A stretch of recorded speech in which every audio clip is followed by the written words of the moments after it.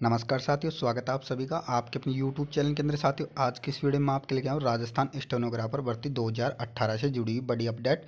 शीघ्र लिपिक सीधी भर्ती परीक्षा 2021 के एग्ज़ाम डेट जारी हो चुकी है। अभी अभी आर राजस्थान कर्मचारी चयन बोर्ड के द्वारा एक ऑफिशियल नोटिस जारी करते हुए शीघ्र लिपिक सीधी भर्ती परीक्षा दो हज़ार इक्कीस का टाइम टेबल जारी कर दिया गया तो ऑफिशियल अपडेट पर चलने से पहले छोटी सी रिक्वेस्ट है, जो भी साथी नए हैं, पहली बार विज़िट करें चैनल को सब्सक्राइब करके बेल घंटे को प्रेस कर लीजिए। न्यू अपडेट के लिए जैसा कि आप सभी देख पा रहे हो, हमने राजस्थान कर्मचारी चयन बोर्ड की ऑफिशियल वेबसाइट के न्यू नोटिफिकेशन पेज को ओपन कर रखा और इसमें स्टोनोग्राफर 2018 से जुड़ा हुआ एक ऑफिशियल नोटिस है इंपॉर्टेंट इन्फॉर्मेशन रिगार्डिंग एग्जामिनेशन इसमें बताया गया है कि टोटल जो पोस्टों की संख्या थी वो गैर अनुसूचित क्षेत्र के पदों की संख्या इसके अंदर एक हज़ार तैंतीस और अनुसूचित क्षेत्र के बावन टोटल एक हज़ार पिचासी पदों पर जो भर्ती निकाली गई थी 2018 के अंदर, उसके एग्ज़ाम डेट का ऑफिशियल अपडेट जारी हो चुका है। इक्कीस तीन दो हज़ार इक्कीस को आपकी एग्ज़ाम ली जाएगी, जो प्रथम पेपर होगा आपका, प्रथम पारी का, वो आठ बजे से ग्यारह बजे